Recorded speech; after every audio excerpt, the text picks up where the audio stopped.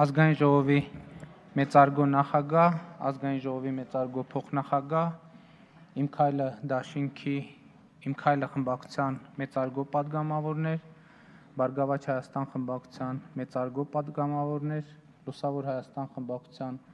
մեծարգո падգամավորներ, պետական այրեր, հարգելի հյուրեր,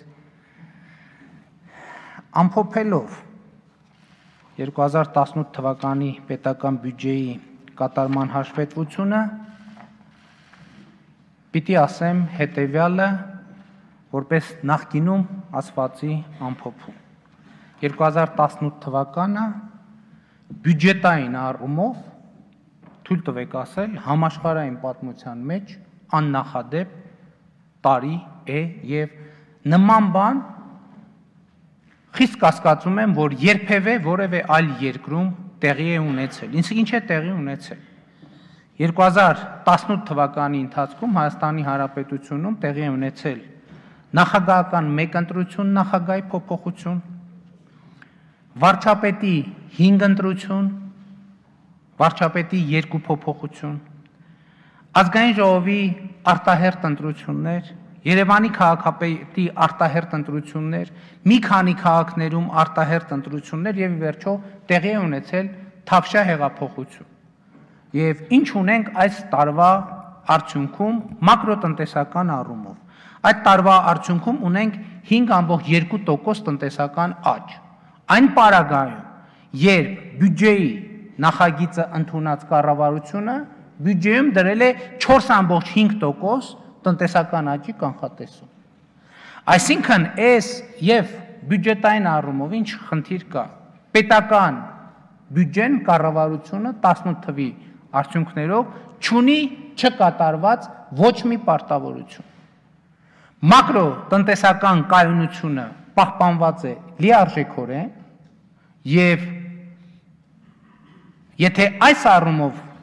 մոտենանք խնդրին, կարող ենք ասել, որ կառավարությունը իր աշխատանքը կատարել է փայլում,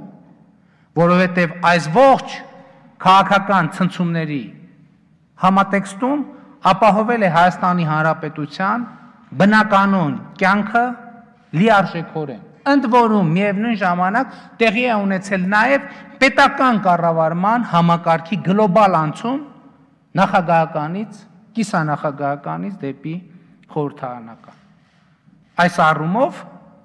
կներեք արտահայտությանս այլ կերպ կառավարության աշխատանքը քան փայլուն ուղակի հնարավոր չէ գնահատել։ Եվ սա ցույց է տալիս նաև այն միտումները, որ ունենք այս տարի։ Այս տարվա առաջին երամսյակի ընթացքում մենք ունենք 7.1% տնտեսական աճ, որը ամենաբարձր ցուցանիշն է Եվրասիական տնտեսական միության տարածքում, եւ ապրիլին մենք ունենք 9.2% տնտեսական ակտիվության ցուցանիշ, որը էլի ինչքան հիշում եմ, ամենաբարձրն է Եվրասիական տնտեսական միության տարածքում, պետական բյուջեի եկամտային մասը գերակատարվում է, գերակատարվելու է առնվազն 62 միլիարդ դրամով։ Եթե համարենք, որ կառավարությունը 2018 թվականին առնվազն ճգնաժամային կառավարման ռեժիմում է եղել, այդ խնդիրը լուծվել է բացառիկ հաջողությամբ։ Ես ես ասում եմ, ես խիստ կասկածում եմ, որ աշխարհում կա որևէ երկիր, որտեղ տեղի է ունեցել հեղափոխություն եւ մակրոտնտեսական կայունությունը պահպանվել է եւ տնտեսությունը ռեցեսիայի առնվազն տևական փուլ չի մտել։ Հիմա ես ուզում եմ այնուամենայնիվ անդրադառնալ մի շարք ընկալումների եւ կարևոր սկզբունքային նշանակություն ունեցող քննադատությունների։ Օրինակ, վերջերս շատ խոսվում է այն մասին, որ կառավարությունը ռեֆորմները չի անում անհրաժեշտ արագությամբ։ Ընդհանրապես ես մի այսպիսի տպավորություն ունեմ 1990-ականներից, որտեղ որի քաղաքական կյանքը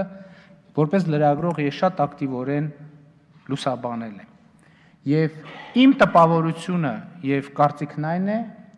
որ արագ ռեֆորմներ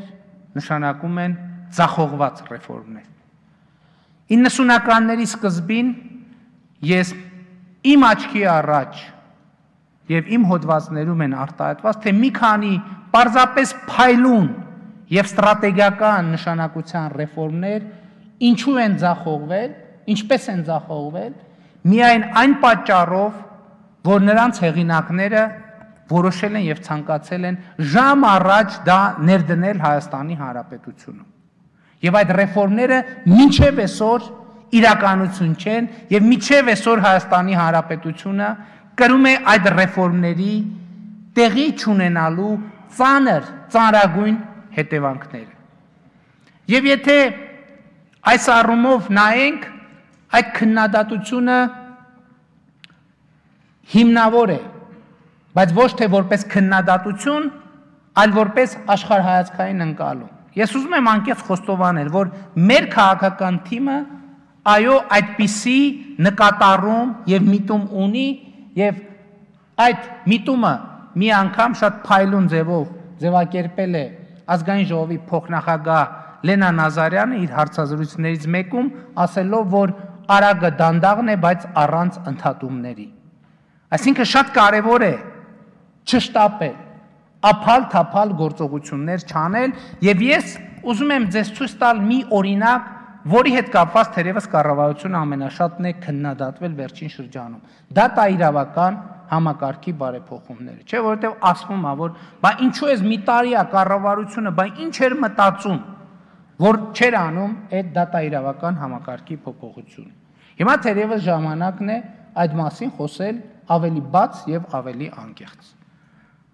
Այն, որ Հայաստանում դատաիրավական համակարգը պետք է խորքային, արմատական, ռադիկալ բարեփոխումների ենթարկվի, Սա նորություն չէ, մենք սա գիտենք շատ երկար տարիներ։ Բայց ինձ համար միանշանակ է եղել, որ Հայաստանի Հանրապետությունում դատական, իրապես անկախ դատական համակարգ չենք կարող ունենալ, հիմա ասելու եմ շատերի համար տհաճման, առանց դատավորների աշխատավարձը 5-6 անգամ բարձրացնելու։ Հիմա բացատրեմ թե ինչու։ Եվ եւ սա կոնկրետ իրողությամբ հիմնավորվում է։ Անցյալ տարի Հայաստանի Հանրապետությունում թերևս առաջին անգամ դիտարկվել է երևույթ, երբ որ դատավորների թափուր տեղերի համար հայտարարված մրցույթներին ըստ էության տեղի է ունեցել մի երևույթ, որը մեզ հայտնի է նեդաբոր անունով։ Այսինքն եղել են դատավորների թափուր տեղեր, բայց չեն եղել պատշաճ մակարդակով հավակնորդներ։ Ինչու՞։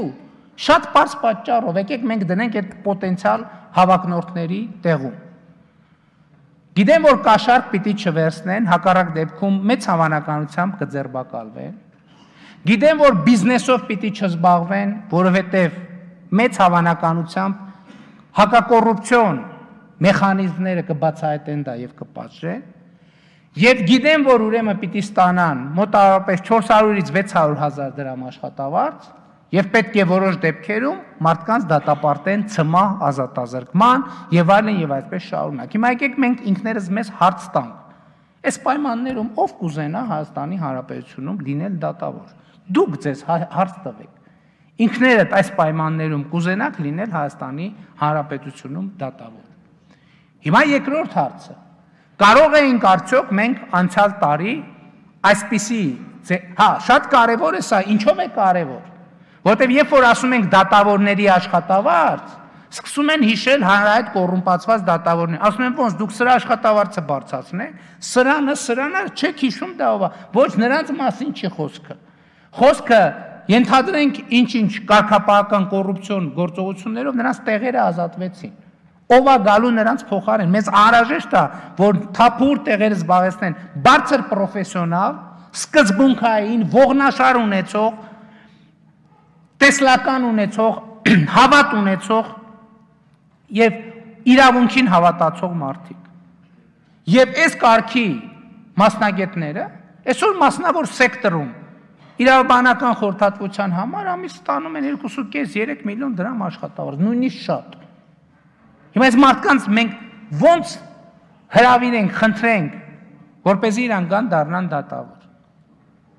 իմ հավատը եղել է եւ է, որ առանց այսպիսի խնդրի լուծման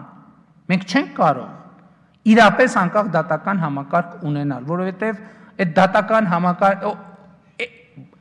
բարձր պրոֆիլի մասնագետը գա դատավոր աշխատի եւ օրինակ չկարողանա իր երեխայի ուսման վարձը վճարել, հա, ինչ զանգի մեկին խնդրի ասի, խնդրում եմ այն հին ձևերով երեխուս ուսման վարձը տա, հետո էլ էթիկայի հանձնաժողովը գնա գլխին կանգնի կամ դատախազությունը կամ ՄԱԱԾ-ն ասեն, ես ինչ ես արի, կամ խորհրդանական քննիչ հանձնաժողովը։ Սա է խնդրեմը։ Հիմա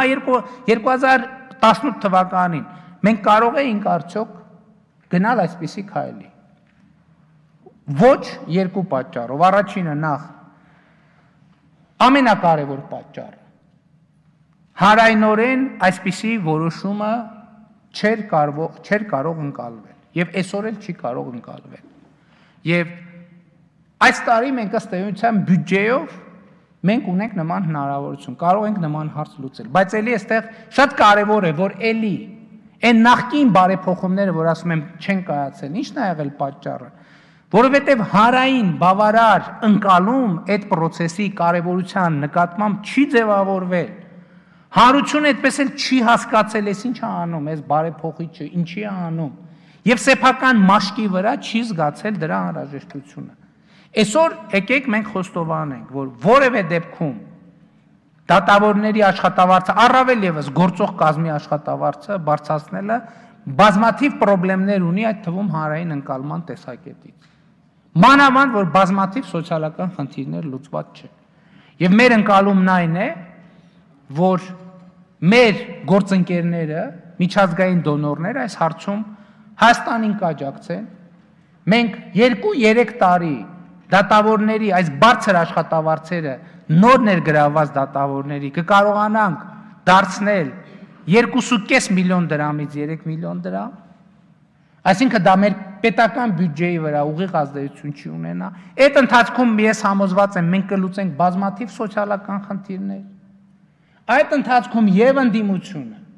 եւ իշխանությունը եւ քաղաքացիական հասարակություն եւ հանրությունը կհամոզվի որ Լսեք, այս անկախ դատական համակարգ ունենալ լավ բան է։ Դա բխում է բոլորի շահերից։ Դա ապահովում է բոլորիս անվտանգությունը, ուրեմն դա մի ծախս է, որ իրոք արժի անել։ Եվ այդ ժամանակ հարությանը առանց դիմադրության հարությունը կհամաձայնվի սեփական միջոցներից տրամադրել, որը այդ 10 միլիարդ դրամը որպեսզի այդ խնդիրը լուծվի։ Պայմանով, որ մեզ իսկապես պետքա անկախ դատական համակարգ։ Ես ցանկացա ներկայացնել այս տրամաբանությունը։ Որովհետև նույնն էլ այսօր ասում են, վերջերս էլի վերնագիր տես։ Այդ գուցե մեր տակտիկական մի քիչ բաներ են բացում, որը չարժել, բայց արժի, որպեսզի ավելի լավ հասկանան։ Ասում են կառավարության կառուցվածքի փոփոխությունը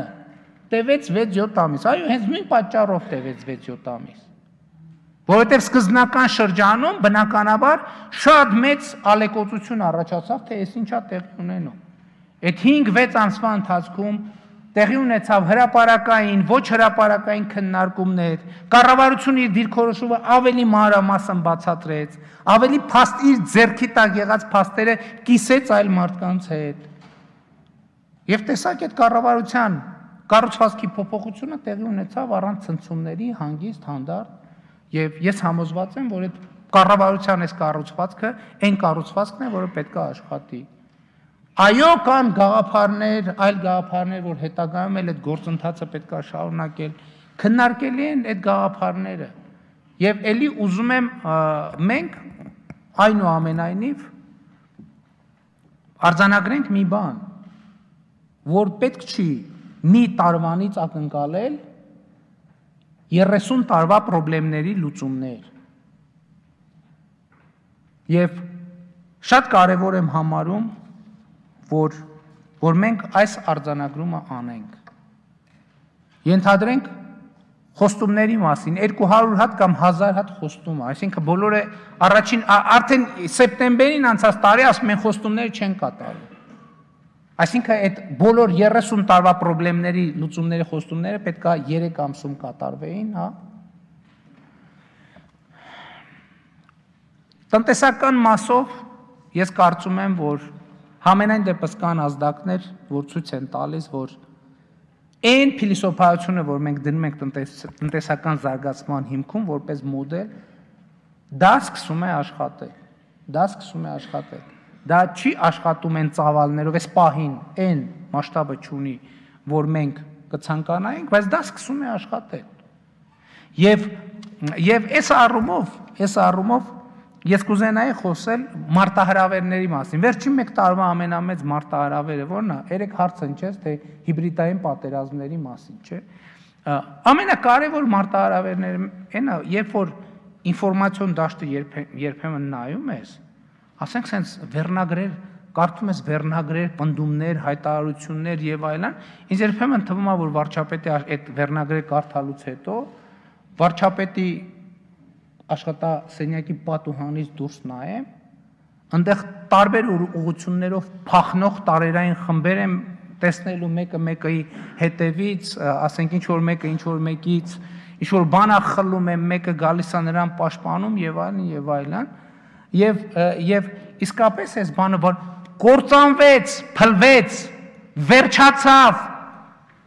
վերջակետ էր։ Այս մի տարվա ընթացքում անընդհատ վերջակետ էր։ Ավարտվեց, պրծավ, փլվեց, քանդվեց,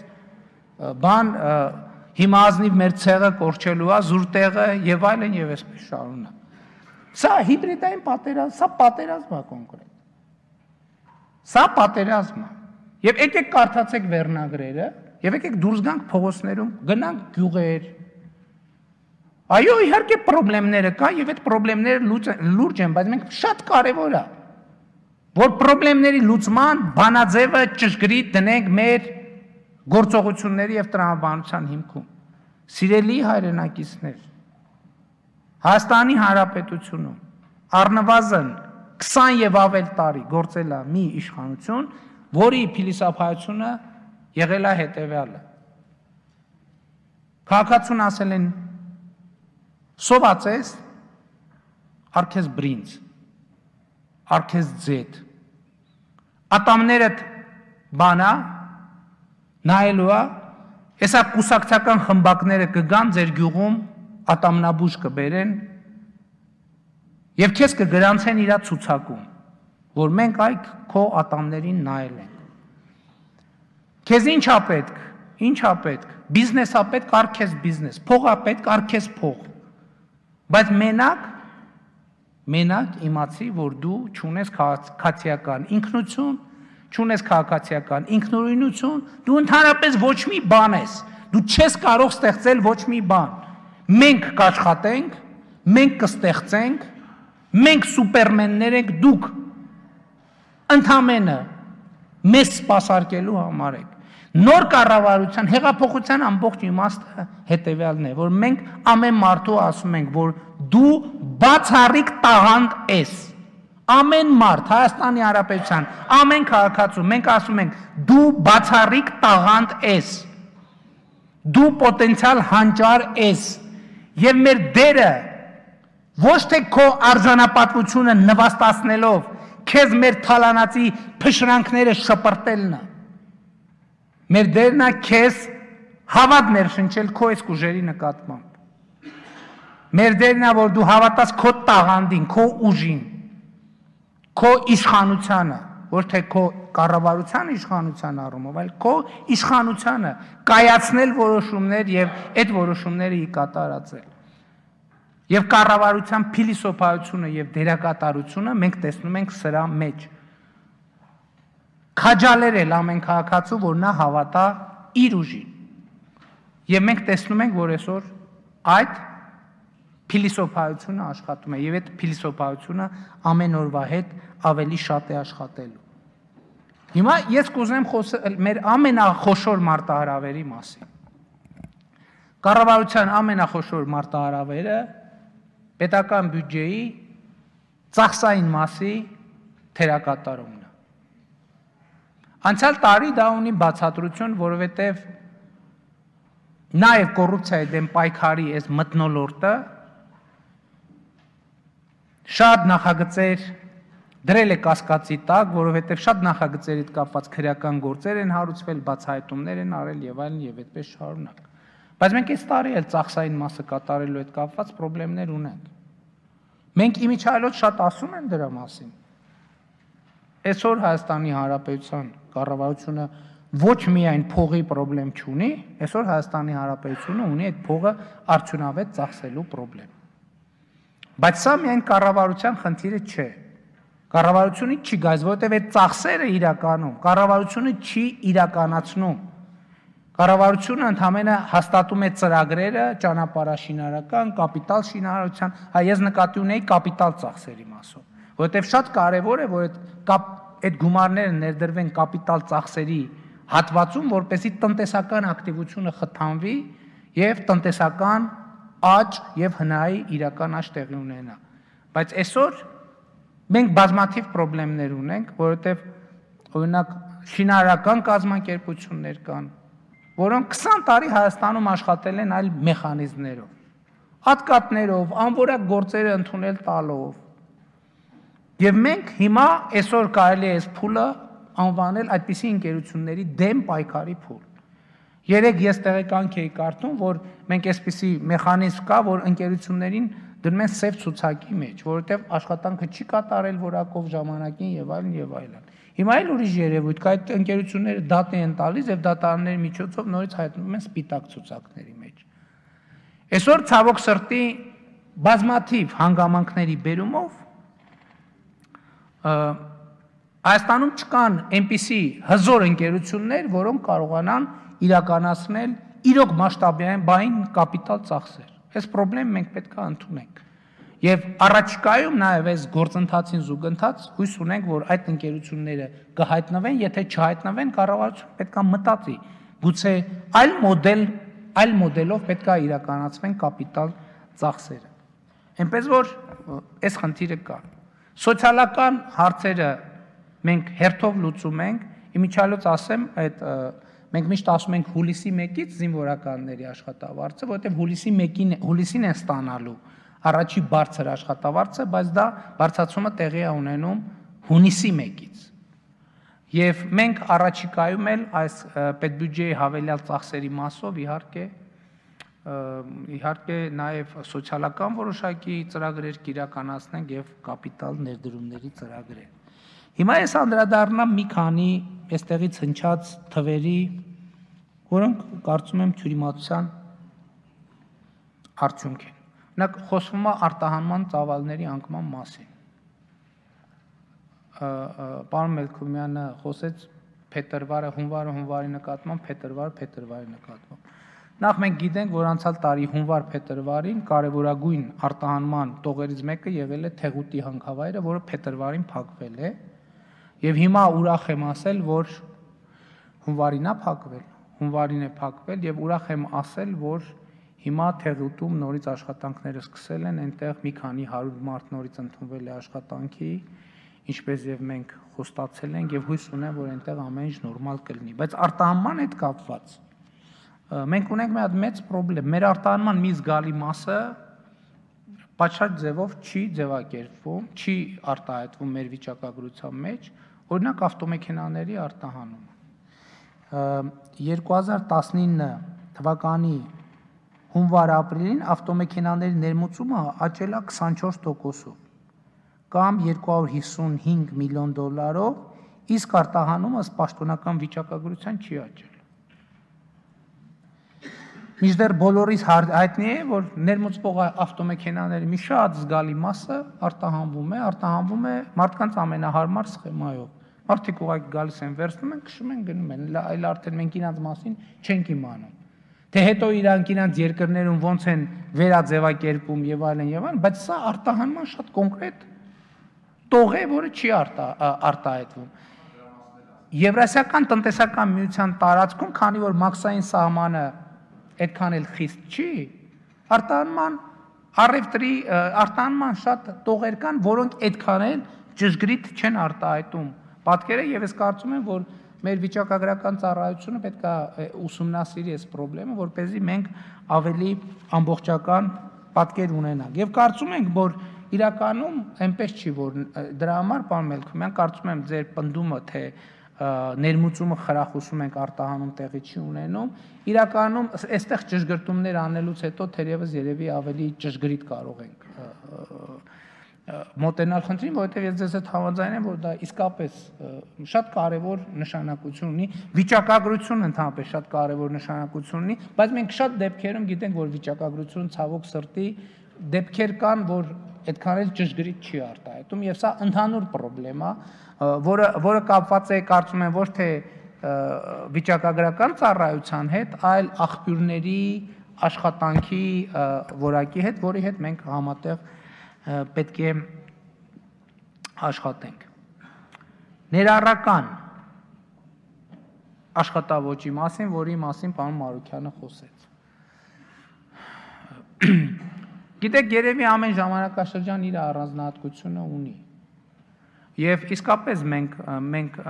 եւ մտադիր ենք եւ տրամադրված ենք, որ մենք համատեղ եւ համատեղ աշխատենք եւ համատեղ խնդիրները լուծենք Եթե այդտեղ ինչ որ բան այնպես չի գնում, կարծում եմ պետքա նաև հանդիպել, քննարկել, խոսել, թե ինչ կարող ենք անել, որ เป զի առնվազն համոզված լինենք, որ մենք մենք մեր ամբողջ հնարավոր պոտենցիալն ենք օգտագործում խնդիրների ճիշտ լուծման համար, այնպես որ ես կարող եմ ասել եւ լուսավոր Հայաստան խմբակցությանը եւ Բարգավաճ Հայաստան խմբակցությանը, որ այս կարգի շփումների մենք պատրաստ ենք, բայց գիտեմ նաև, որ այդ այդ կարգի շփումները կան եւ եւ գուցե խնդիր կա, որ դրանք պետք է դարձնել առավել արդյունավետ։ Ես չէի ուզենա մասնավոր բաների տենց նյուանսների անդրադառնալ, պարոն Բագրատյան, բայց ես մեծագույն հարգանքով ձեր տված ելույթը լսեցի ընդմիջման ժամանակ, այնտեղ բոլորովին ուրիշ բանի մասին է խոսքը այնտեղ խոսքը գնում է խորհրդարանական խմբակցությունների գործունեության դաշտի մասին եւ դրան ազգային ժողովի նախագահ արդեն իսկ պատասխանեց։ Հենց խոսքը գնում է նրա մասին, որ այդ իսկ ով է ասել, որ ընդդիմության ներկայացրած նախագծերը միշտ պետք է մերժվեն կամ չընդունվեն։ Ազգային ժողովին նախագահը ինքը ասաց, որ որ եւ ես կարծում եմ դա իրական վիճակագրություն է, որ այս ընթացքում ընդդիմացության կողմից առաջարկված նախագծերի ընդունման աննախադեպ ցուցանիշ ունենք եւ ես ինքս էլ կառավարության նիստերում մի քանի անգամ ասել եմ, որ մենք այդ գործելակերպից պետք է դուրս գանք, որ ընդդիմության ներկայացրած նախագծերը մերժվում են այն փաստի բերումով, որ որ ընդդիմությունն է ներկայացրել։ Այսպեսի գործելակերպ իհարկե մենք չենք ունենալու, բայց ինչ ինչը նաև սրա հակառակն էլ չի նշանակում, որ ընդդիմության ներկայացրած բոլոր նախագծերը պետք է ընդունվեն։ Ինչպես կառավարության, ինչպես ինչպես ինչպես բոլոր դեպքերում դրանք պետք է նայել իր բովանդակության եւ փոխկապակցվածության մեջ, հա եւ նախորդ դրվագը ես կներեք ներողություն եմ խնդրում, եթե իմ ասածի մեջ ինչ որ հեգնական բան եք տեսել, բայց բացարձակ հեգնելու ես լավ չեմ պատկերացնում։ Հեգնելու ոչ մի միտում չի եղել, բայց փաստը մնում է փաստ, եւ ես հույս ունեմ, որ մենք այս բանավեճի վերջո բան կանենք, վերջակետ կդնենք, դուք առաջարկ եք արա, ես նույնիսկ չեմ ասել, կքննարկենք։ Ես ասել եմ ձեր ներկայացրածներից կներկայացնեմ ես որպես տեխնացու առանց բանի վստահաբար եմ ասել ասել եմ կքննարկենք տեխնացուներին կարող են ինչ-որ տեխնացու ներկայացնեք այս տեխնացուն դուրս չգա ինչ-ինչ պատճառներով, չուզենանք ներկայացնել, խնդրենք ուրիշ տեխնացու ներկայացնեք, որ เป զի նրանք հանրային ծառայությունները կարգավորող հանձնաժողովի անդամի պաշտոնում ներկայացնեն եւ պարոն Բագրատյան դա փաստ է, որ ձեր խմբակցությունը հրաժարվել է դրանից։ Հիմա դա ինչ ինչ վիճաբանելու թեմա է։ Եվ կարծում եմ, որ այս թեմաները տենց ամեն անգամ նիստից նիստ, ամսից ամիս, շաբաթից շաբաթ, տարուց տարի պետք չի փոխանցել, եւ պետքա պետքա արձանագրել փաստերը, այո, եթե պետքա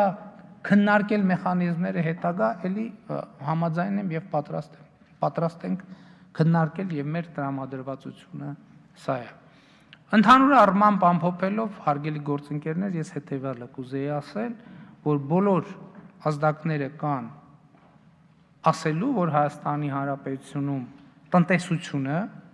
գտնվում է շատ լավ տրամադրվածության մեջ ներդրումներ կատարվում են եւ այդ ներդրումները երևում են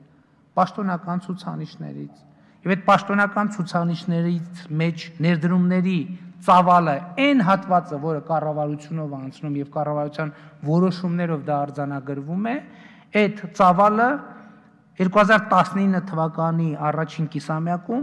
նախորդ տարվա համեմատ աճել է 7 անգամ, 7 անգամ, իսկ աշխատատեղերը, որոնք գծված են այլ ներդրումների ծրագրերին, որ այսքան աշխատատեղ ստեղծելու հայտ է ներկայացված այդ ծրագրերով 4.7 անգամ։ Էնպես որ սիրելի գործընկերներ, սիրելի հայրենակիցներ, ես կարծում եմ, որ մենք բոլորս այսօր պետք է ունենանք լավ տրամադրություն, ոչ թե նրա համար,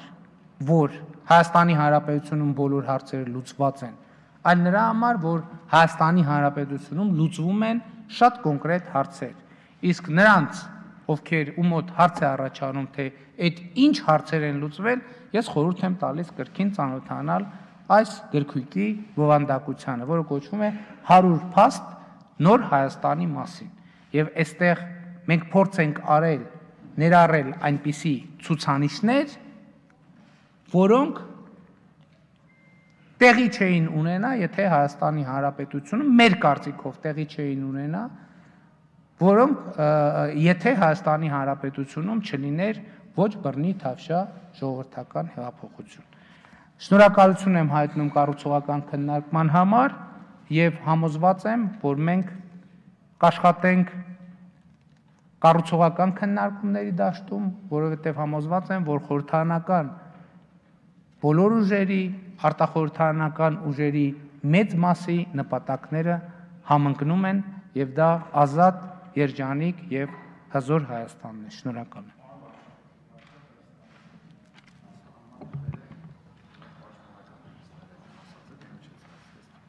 Շատ շնորհակալ եմ։